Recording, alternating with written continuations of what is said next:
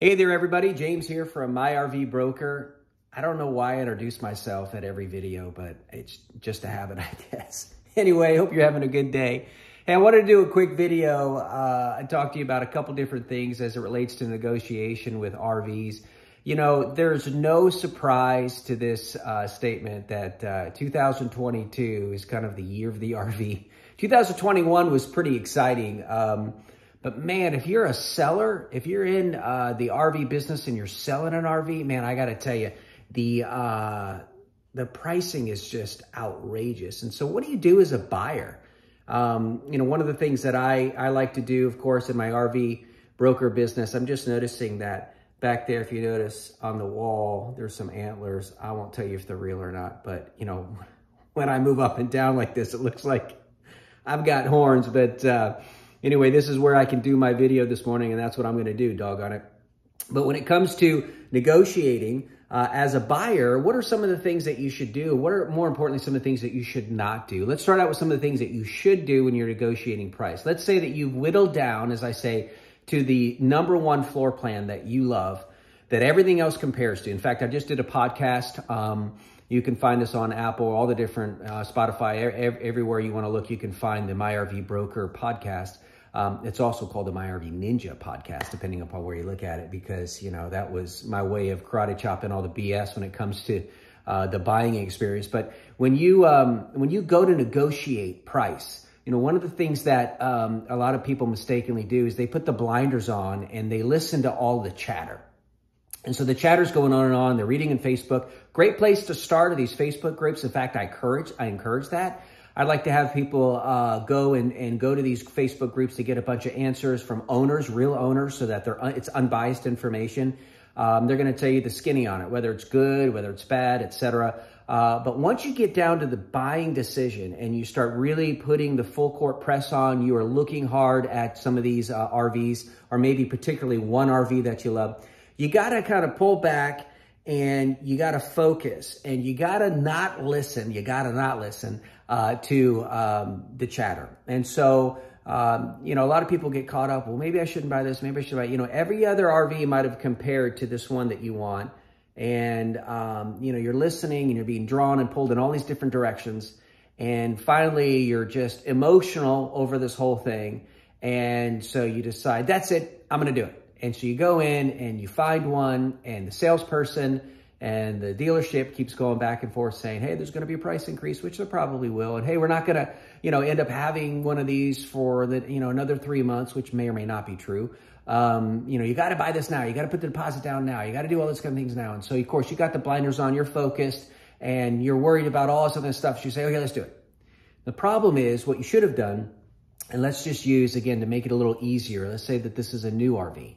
Um, and uh, you've got several different dealers out there that represent that particular manufacturer and that model.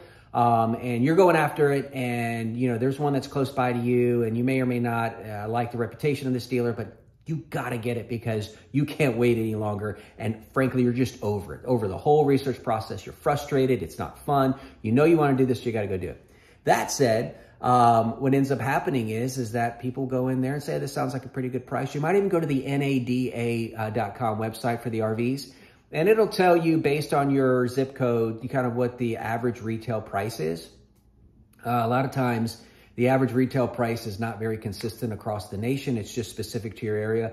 And there's a reason, guys, why dealers pay for the NADA uh, guidelines and, um, and percentages and retail values and wholesale values. So whenever you're getting something for free, it's usually not accurate. It's not going to be, you know, significantly off in many cases.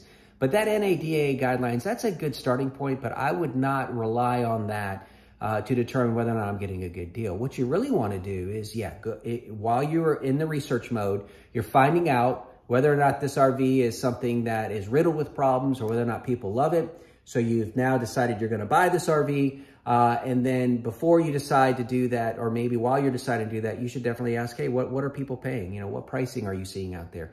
You don't look on RV Trader or some of these other great websites, but use that as a basis to determine whether or not you're having a good idea. But back to the brand new scenario, by the way, dealers do sell new units as well and are, are advertised on all these different websites. And a lot of times they're sneaky about it. They'll come in and say, uh, call for price. won't tell you mileage, you know, uh, call for price. And, and they want to get you on the phone because if they get on the phone, then they know certain buttons that they can push. Uh, but back, let's go. Sorry, I'm, I'm kind of going on and on about uh, these different things about this specific problem. And that is you put the blinders on, you're going to go buy it. You're listening to all the chatter, all the negative stuff, all these voices, and you're like, I'm over it. Let's do it. Well, again, easy math. Let's say this RV cost $100,000. Um, and what you should have done is you should have done uh, your research a little better and you should have reached out to at least two other dealers.